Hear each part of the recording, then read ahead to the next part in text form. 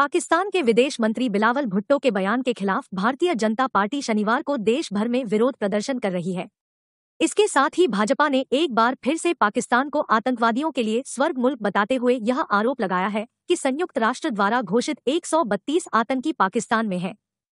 Osama bin Laden भी पाकिस्तान में ही पाया गया था। भाजपा राष्ट्रीय प्रवक्ता गौरव भाटिया ने कहा कि पाकिस्तान जैसे आतंकवादी देश और आतंकियों के लिए स्वर्ग माने जाने वाले मुल्क को जब भारत के विदेश मंत्री एस जयशंकर ने आईना दिखाने का काम किया। विदेश मंत्री ने जब याद दिलाया कि ओसामा बिन लादेन भी पाकिस्तान में ही पाया गया था तो अपनी असली सूरत देखकर पाकिस्तान को अपने से नफरत भी हुई और गुस्सा भी आया। लेकिन पाकिस्तान विदेश मंत्री ने यह गुस्सा हमारे खिलाफ अनर्गल बयान देकर निकाल दिया। भाटिया ने आगे कहा कि पाकिस्तान आतंकियों के लिए स्वर्ग मुल्क माना जाता है, जिसके पास अपनी अर्थव्यवस्था चलाने के लिए रुपया नहीं है और जो दूसरे देशों से भीख माँगता है, ऐसे देश पर कोई टिप्पणी करना भी हमारी शान के खिलाफ है। भाजपा राष्ट्रीय प्रवक्ता ने कहा कि भारत के पास प्रधानमंत्री नरेंद्र मोदी जैसा मज़बूत नेतृत्व है, वैश्विक स्तर पर भारत को उम्मीद की रोशनी बताया जाता है।